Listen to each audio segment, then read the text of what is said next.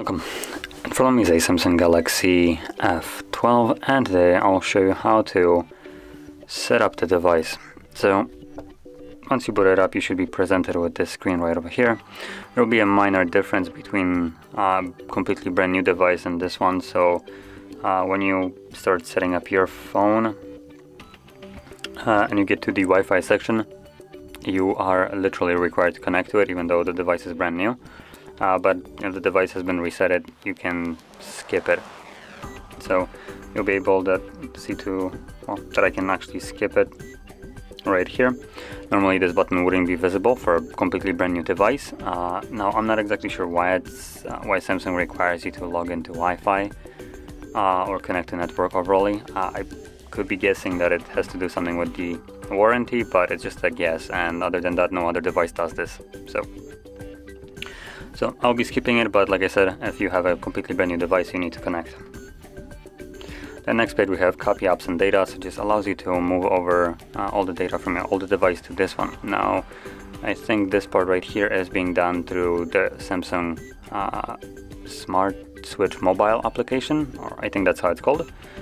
So we can copy over the data. Uh, you need to first download the app on your phone and then connect those two together and should be able to copy all the data fairly easily. Now I'm going to be setting it up as new, so I'm selecting don't copy, which brings me to the next page, which is a date and time. Now this page will only appear if you chose to not connect to any kind of network. I skipped uh, inserting a SIM card and I also skipped Wi-Fi connection, so it pops up here. But like I said, if you connect to anything, uh, this is completely skipped altogether throughout the setup and the date and time is set automatically. Now on the next page we have services uh, from Google, so we have location, scanning, sending user and diagnostic data. So you can read exactly what those do. If you don't like them, turn them off. And next page we have option to protect our device and we have a couple different methods of doing so. So we have fingerprint, face recognition, PIN, pattern or password. Now the first two, which is the face recognition and fingerprint, uh, if you choose one of those or both, uh, you are still going to be required to set up uh, either one of those three pin pattern or password.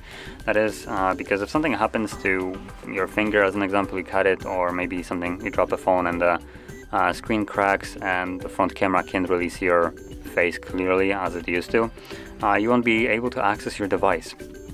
So you have additional ways of unlocking the device that do not require well, options that could be well, circumstances that can change.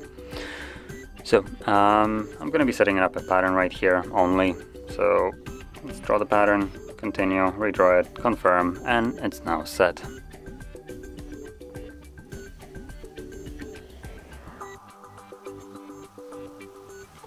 And finish up, and that's it.